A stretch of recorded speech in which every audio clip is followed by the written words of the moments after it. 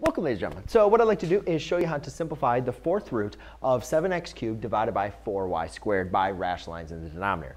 Now, before rationalizing the denominator, it's important for you to understand that the, the properties of radicals, doesn't matter if it's a square root or the fourth root, it, of a radical expression can be rewritten as the radical of a over b. So therefore, I can rewrite this as the fourth root of 7x cubed divided by the fourth root of 4y squared.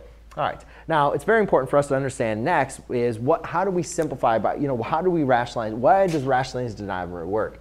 And what we want to do is we want to multiply our denominator by a number that's going to get rid of our fourth root. So what we want to do is kind of look at, you know, when I had x times x, the square root, we could pull those together, right? We pulled them out. So the simpler way to write that is just x squared. The square root of x squared is just equal to x the cube root of x cubed is just equal to x. The fourth root of x to the fourth is just equal to x. All right? So therefore, when I, if I want to get rid of the fourth root, I need to get, I need to take the fourth root of 4 to the fourth power and y to the fourth power. So therefore, the, the number that I'm going to multiply by is going to be 4 cubed times y to the second. Because remember, when you multiply numbers with powers, you add the powers, right? So this has a 1 up there. 1 plus 3 is 4. 2 plus 2 is 4. So therefore, I'll do the same up here. Um, now remember, this is 4 uh, cubed. Eh, let's just write up there. That's fine. All right, well, let's write, write that actually what it is. So 4 cubed is going to be, 4 cubed is 4 times 4 is 16, times 4 is going to be 64. All right and then 64x y squared. Okay, so now I'm going to multiply those on the top and the bottom. Now remember, this 4 times this 4 cubed, which is 64, is going to give me a fourth root of a number, which we need to go ahead and determine here. So now let's go and multiply the top here. Um, 7, I don't know that off the top of my head, so let's go and do some old mathematics here. 7 times 4 is 28. 7 times 6 is 42, plus 4 is 44. Whew. Okay. Um, I do have my calculator. Sweet. So therefore, I have the fourth root of 448 times x cubed y squared. Now remember, I would have to have a, an exponent, a power to the fourth power to take the fourth root of it. These I do not have, so therefore I can't simplify that any further. I'm going to double check on 444 though in just a second. Um, then I'm going to divide by 4 times uh, 64 is going to be the fourth root of 128, which would be 256.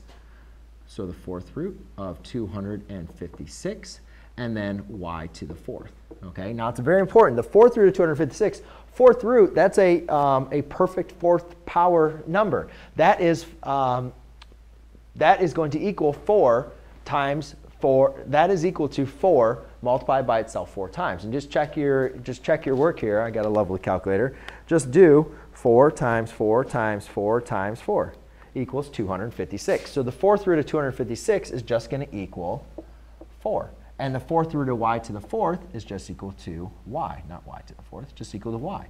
So you can see that by multiplying by that that value gives me numbers I can take the fourth root of. Because if I if I just chose to multiply by the fourth root of 4, then I'd have the fourth root of 16, which you can actually take the fourth root of 16, which would be 2, which tells me that I am going to be simplifying this, um, which I should have, which I could have done.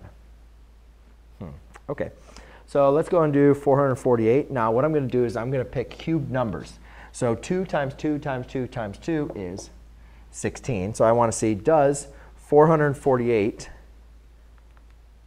divide into 16 or 16 divided into 448 and yes it does. So therefore I can break I can actually simplify this into the fourth root of 16 times the fourth root of 28 x cubed y squared.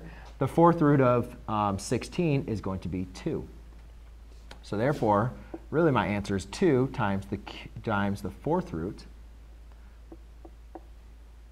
of 28 times x cubed y cubed. And then this obviously can be reduced down to 1 half. So my final answer is the fourth root of 28 x cubed y cubed divided by 2y. Okay, so there you go, ladies and gentlemen. That is how you simplify a radical expression as by rationalizing the denominator with the fourth root. Thanks.